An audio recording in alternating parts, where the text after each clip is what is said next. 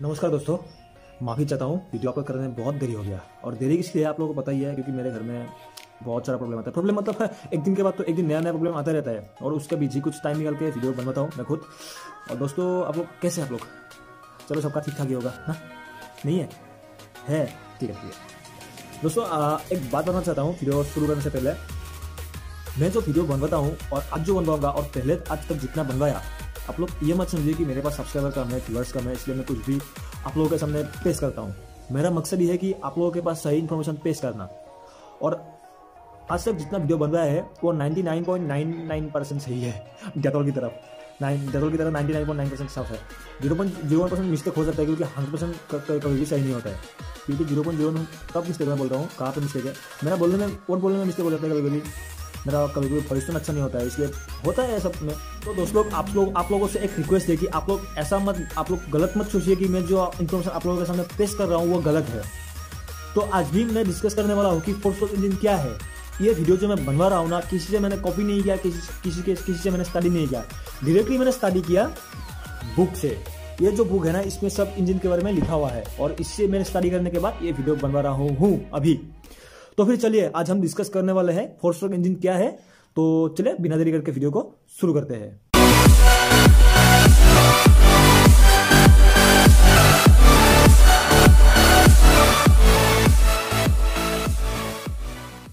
दोस्तों, देखिए इंजन का टाइप्स तो बहुत है। जैसे कि इंजन का टू टाइप्स है।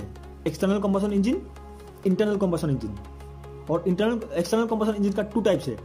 स्टीम इंजन और टर्बाइन इंजन और इंटरनल इंटरनल कंबसन इंजन का स्पार्क इग्निशन कंप्रेशन इग्निशन और स्पार्क इग्निशन का टू टाइप्स है टू स्ट्रोक फोर स्ट्रोक और कंप्रेशन इग्निशन का भी टू स्ट्रोक फोर स्ट्रोक तो अभी इतना सारा टाइप्स हम एक वीडियो में कैसे बोलेंगे यार? नहीं बोल सकते ना? तो क्या करेंगे? नेक्स्ट वीडियो बोलेंगे। लेकिन अभी हम क्या डिस्कस करेंगे? फोर स्ट्रोक पेट्रोल इंजन के बारे में। Four stroke petrol four stroke diesel का थोड़ा अलग है, लेकिन फोर स्ट्रोक पेट्रोल के बारे में आज हम बोलेंगे। तो फोर स्ट्रोक मतलब क्या है? क्या है ये?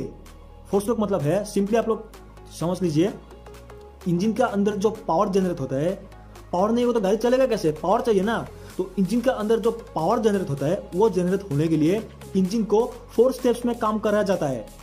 तो अब ये फोर स्टेप्स है क्या? सारे स्टेप्स को समझने से पहले आप लोग इंजन का डायग्राम को थोड़ा समझ लीजिए।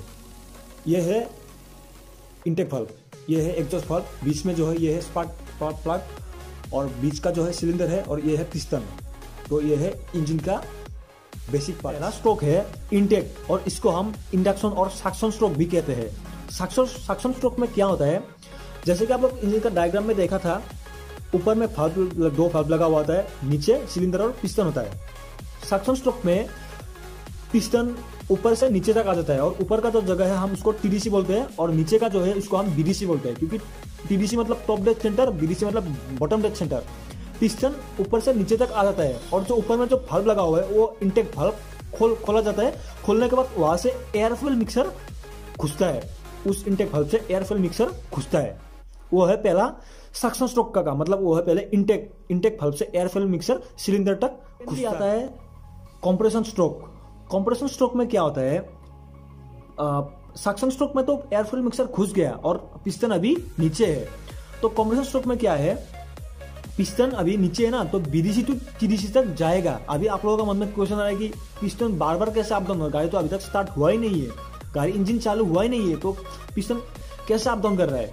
तो देखिए, एक बार पिस्टन जो लगा हुआ था ना, वो क्रैंक साफ्ट में लगा होता है क्रैंक साफ्ट में पिस्टन लगा हुआ था और क्रैंक साफ्ट का साइड में लगा हुआ था, पीछे लगा हुआ था फ्लाई व्हील अभी फ्लाई व्हील राउंड है और साइंस का law as per science law कोई भी राउंड चीज़ को अगर हम एक बार घुमाएँ तो वो रोटेशनल मूवमेंट में रहना चाहता है। जैसे कि हम, हमारा ऊपर में जो लगा पंखा पंखा को अगर हम एक बार घुमा दे तो बिना घुमाए ही पाँच, छह बार ऐसे ही घूम लेगा।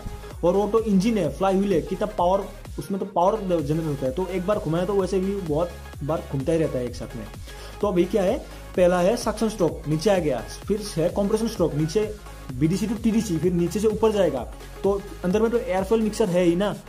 तो नीचे से ऊपर जाएगा तो कॉम्प्रेस्ड हो गया। जो अंदर में एयरफॉल मिक्सर था, वो नीचे से ऊपर गया ना तो कॉम्प्रेस्ड हो गया। तो कॉम्प्रेस्ड होने के बाद वो है कॉम्प्रेस्ड ये है कॉम्प्रेस्ड स्ट्रोक तो कॉम्प्रेस्ड हो गया। स्ट्रोक है पावर स्ट्रोक सेकंड स्ट्रोक में कॉम्प्रेशन स्ट्रोक में क्या हुआ था? Piston BDC to BDC to TDC ऐसे जाके कॉम्प्रेस हो रहा था।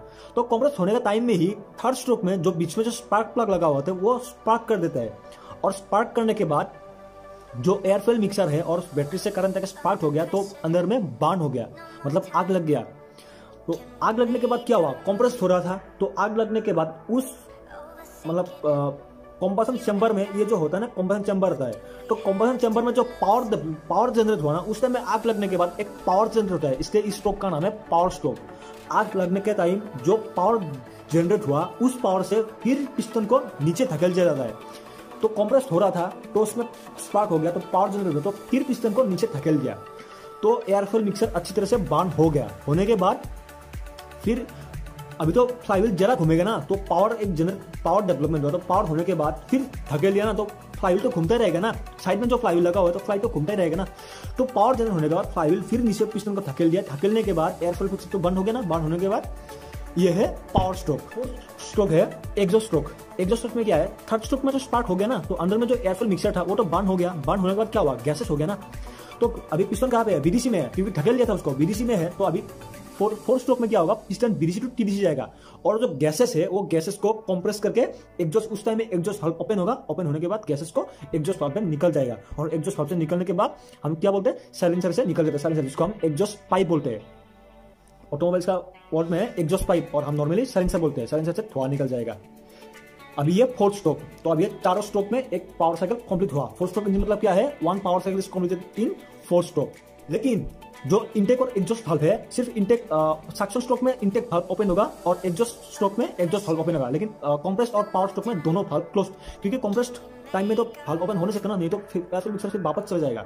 और पावर स्ट्रोक में पावर जनरेट होता है पावर निकल नहीं सकता। वही तो इसलिए तो एक्सपांड होता है ना। पिस्टन फिर को थकेल जाएगा। निकल जाएगा तो पिस्टन को थकेलेगा कैसे? इसलिए दोनों टाइम में कॉम्प्रेशन और पावर स्ट्रोक में तो दोनों हल्व क्लोज सिर्फ़ इंटेक और एग्जॉस्ट में हल्व ओपन पावर स्ट्रोक में क्या हुआ?